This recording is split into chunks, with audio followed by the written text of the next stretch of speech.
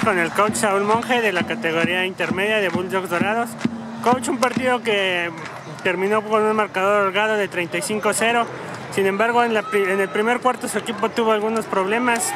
¿Qué, ¿Qué, fue lo que hizo usted para cambiar esa actitud que tenían los jugadores? Pues nada, hablar con los muchachos. En realidad empezaron con un exceso de confianza que no debo de permitir. No, no fue eh, muy bueno el inicio, pero afortunadamente los muchachos entraron en, en el ritmo que estamos buscando y se logró un marcador, pues, buen, buen, buen marcador.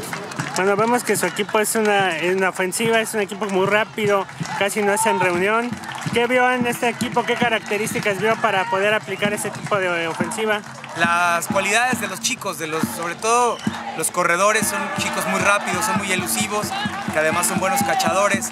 Entonces sirve muy bien ese tipo de jugadores para jugar spread, jugar con muchos movimientos, provocar confusión defensiva.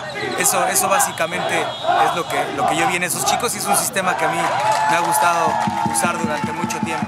Bueno, y finalmente siempre hay algo que mejorar. ¿Qué cree que para la siguiente semana es lo que debe mejorar Híjole, su equipo? muchísimas cosas. El ritmo, una cuestión la concentración, el hecho de empezar a un buen nivel desde el primer momento, no, no esperarnos a que sucedan ciertas cosas, sino provocarlas. Eso yo creo que es en lo que tendríamos que trabajar, porque tenemos un juego muy importante la próxima semana y va a definir muchas de las de, de, de, la, de la, clasificación en que, cómo quedemos para el playoff, que yo espero que estemos ahí de manera este, muy clara. Muchas gracias, coach.